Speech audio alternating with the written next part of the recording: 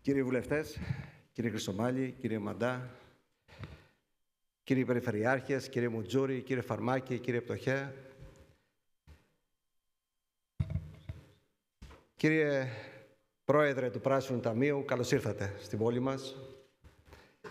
Κύριε Γενική Γραμματέα της Ακαδημίας Αθηνών, κύριε συνάδελφοι αυτοδιοικητικοί, δήμαρχοι, αντιπεριφερειάρχες, υπηρεσιακά στελέχη, δημοτικοί σύμβουλοι, κυρίες και κύριοι, σας καλωσορίζω με τη σειρά μου στην Καλαμάτα, μια πόλη που αναπτύσσεται, μια πόλη που έχει τοποθετήσει τα περιβαλλοντικά ζητήματα πολύ ψηλά στις προτεραιότητες της. Σήμερα συζητούμε για την προσαρμογή της περιφέρειάς μας στην κλιματική αλλαγή. Και η Καλαμάτα, της οποίας έχω τιμή να είμαι δήμαρχος για δεύτερη θητεία, αποτελεί μια πόλη που διαθέτει όραμα και συγκεκριμένο σχέδιο. Διαθέτει ένα κλιματικό συμβόλαιο το οποίο περιγράφει πολιτικές και κατευθύνσεις για το πώς θα οδηγηθούμε, πώς αν θέλετε καλύτερα θα προετοιμαστούμε ως περιοχή για τα επόμενα χρόνια εν μέσω μιας κλιματικής κρίσης που η παρουσία της είναι πλέον έντονη.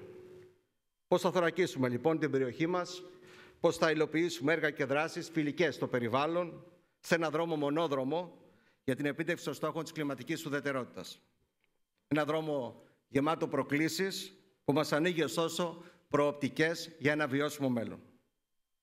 Κυρίες και κύριοι, η προσαρμογή στην κλιματική αλλαγή αποτελεί όχι μόνο αναγκαιότητα, αλλά και ευκαιρία για να δείξουμε την ανθεκτικότητα και την καινοτομία της περιοχής μας. Θυμάμαι όταν στις αρχές προηγούμενης θητείας μιλήσαμε τότε για το ζήτημα της κλιματικής αλλαγής, αναγνωρίζοντας είναι αλήθεια τις αυξημένες ανάγκες, διαπιστώνοντας τους κινδύνους που εμπεριέχουν πλέον τα έντονα καιρικά φαινόμενα και διεκδικήσαμε τότε τη συμμετοχή μας στην Ευρωπαϊκή Αποστολή των 106 και κλιματικά οδέτερων πόλεων της Ευρωπαϊκής Ένωσης έως το 2030. Αρκετοί απόρρισαν, άλλοι ηρωνεύτηκαν, άλλοι κράτησαν αποστάσεις, πολλοί δεν πίστεψαν το εγχείρημα. Παρ' όλα αυτά, με πείσμα, με σχέδιο, κινητοποιώντας παραγωγικές και υγιείς δυνάμεις της κοινωνίας μας, προχωρήσαμε και σήμερα η Καλαμάτα όχι απλώς αποτελεί μέλος Ευρωπαϊκής Αποστολής, αλλά έχοντας λάβει την πιστοποίηση έχουμε εισέλθει στην τελική φάση του σχεδιασμού μας, στη φάση υλοποίησης του κλιματικού συμβολίου της πόλης.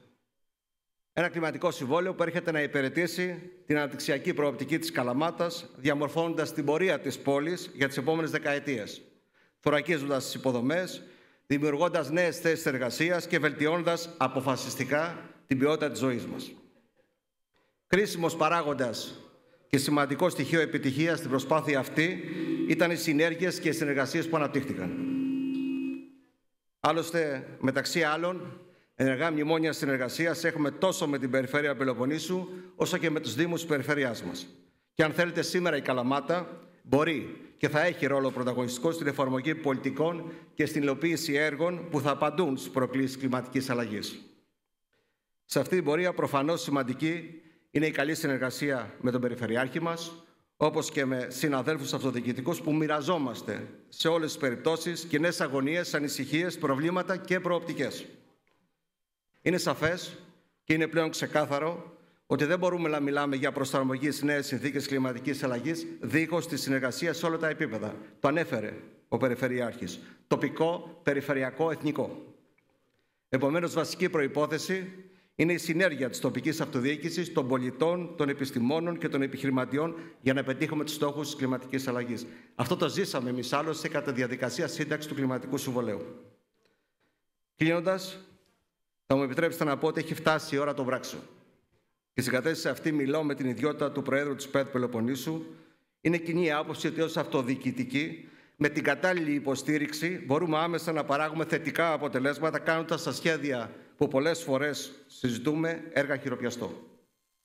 Έργα που θωρακίζουν την περιοχή μας, έργα τυπημερικά, έργα διαχείρισης και αξιοποίησης των πολύτιμων υδάτων μας, έργα που συνδέονται με την πράσινη ενέργεια, έργα που εν πολλής θα καταστήσουν με την υλοποίησή τους στην περιφέρεια που υλοποιήσουν συνολικά λιγότερο ευάλωτη και περισσότερο ανθεκτική και βιώσιμη. Με αυτές τις σκέψεις Χαιρετίζω τη σημερινή ενδιαφέρουσα ενημερωτική εκδήλωση, τα αποτελέσματα της οποίας να είστε βέβαιοι ότι εμείς θα τα ενσωματώσουμε στο σχεδιασμό μας για την πόλη. Σας ευχαριστώ πολύ και πάντα καλή διαμονή στην όμορφη και φιλόξενη πόλη μας.